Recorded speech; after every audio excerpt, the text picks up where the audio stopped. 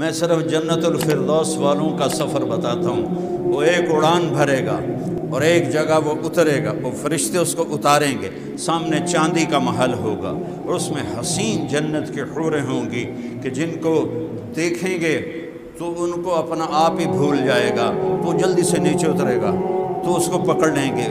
हज़रत जी कहाँ जा रहे हैं? कह रहे है, मेरा घर नहीं आ गया। कह, नहीं।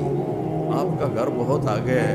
कह एडियाँ सोनिया सोनिया हो रहा मैं किधे जावा वो कहेंगे, इससे भी सोनी आगे हैं। ये आपकी हैं, लेकिन वो आगे हैं। वो फिर दोबारा उड़ान भरेगा। और ऊपर जाकर एक सोने का महल होगा, जिसकी हो हैं उन नीचे वाले चांदी के महल से ज़्यादा हसीन होंगी।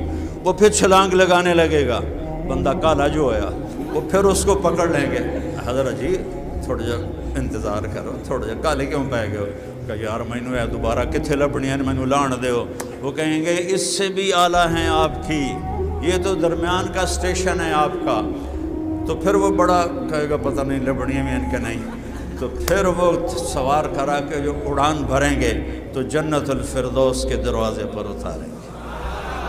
और आगे सुर्ख याकूत का महल होगा और दरवाज़े पर इसकी दुनिया की मोमिन बीवी इसका इस्तकबाल के लिए खड़ी होगी।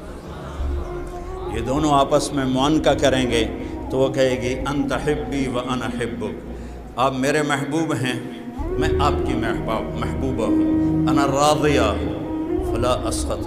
अनल खालिदा फ़ला अमूत अबदा। अब मुझे मौत नहीं आएगी, मैं आपको छोड़ के कभी नहीं जाऊँगी। ना आपको मौत आएगी, आप भी मुझे छोड़ के कभी नहीं आएगी। अनर्राजिया तो फ़ला असत अबदा। अब मेरी आपकी कभी लड़ाई नहीं होगी। ना आप मुझसे लड़ेंगे, ना मैं आपसे लड़ूँगी। हमेशा खुशियों की ज़िंदगी होगी। और वो दोनों मियाँ बीवी अंदर दाखिल होंगे और उस महल की जो छत होगी ना, अल्लाह का अर्श होगा। जन्नतफरदौस के महलों की छत अल्लाह का अर्श भी। मेरे भाइयों, ज़िंदगी को कीमती जानो। अल्लाह के वास्ते हराम रास्तों से वापस आ जाओ, गलत रास्तों से वापस आ जाओ। रिस्क हलाल कमाने पर गुना माफ़ होते हैं। मेरे नबी का फरमान है, जो सुबह से शाम तक रिस्क हलाल कमाने में थक जाता है, उसके उस दिन के सारे गुना माफ़ हो जाते हैं।